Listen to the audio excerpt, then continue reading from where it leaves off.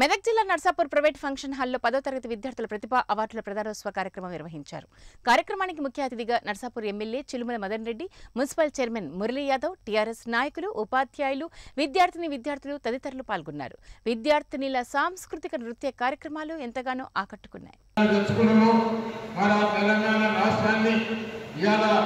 Government స్కూళ్ళలో చదువుకునే విద్యార్థులు ఎవరే కానీ పేదవాళ్ళు కనుక మరి మీరందరూ కూడా కొంత సమయాన్ని కూడా వెచ్చించి మరి ప్రతి ఒక్కరు కూడా మరి ఒక శ్రద్ధతోటి మరి మన ఉపాధ్యాయ వృత్తిని చేసినట్టయితే మన తెలంగాణ రాష్ట్రం కూడా యావత్ భారతదేశంలో కానీ ప్రపంచంలో కూడా ప్రఖ్యాతి చెందేటట్టు మన విద్యార్థులను తయారు చేస్తున్నారనేది కూడా మీకు మనవి చేస్తున్నాం.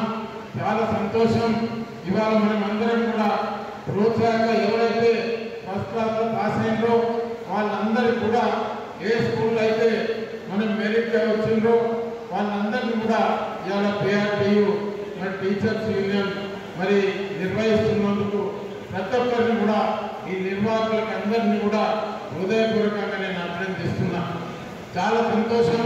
ఇవాళ మనం అందరం కూడా మరి ఎట్లయితే తెలంగాణ రాష్ట్రాన్ని తయారు చేసుకున్నామో మరి బంగారు తెలంగాణ వచ్చే వరకు కూడా తెలంగాణ రాష్ట్రాన్ని అభివృద్ధి వైపు తీసుకుపెట్టేందుకు మేమందరం కూడా ఛాయశక్తుల ప్రయత్నం చేస్తాం.